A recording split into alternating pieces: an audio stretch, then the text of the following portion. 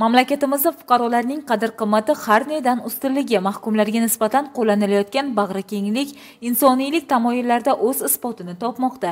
Mana shunday ezgu qadriyatlarning bardavomligini navoiy viloyatidagi konimex tumani ichki ishlar boshqarmasi probatsiya guruhi nazoratida bo'lgan yetti nafar navoiyliklarga ham qo'l keldi. Ya'ni probatsiya bo'limining sudga kiritilgan taqdimnomasiga ko'ra mahkumlarning xulqidagi ijobiy o'zgarishlari hamda qilmishidan chin ko'ngildan pushaymonligi inobatga olinib ozodlikdan mahrum qilish bilan bog'liq bo'lmagan jazodan shartli ozod qilindi.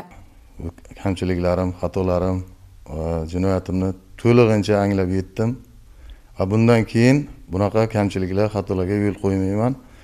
E, xalqim uchun yurtim uchun fidoyi farzand bo'lib e, fuqaro bo'lib xizmat qilishga va'da beraman. Ishonamizki imtiyoz va bildirilgan ishonchdan mahkumlar to'g'ri foydalanib yangi hayot yo'lini xayrli safar bilan boshlaydi. Aziz abdurasulov va shahobiddin sayfiddinov hudud yoshlari informatsion dasturi uchun navoiydan.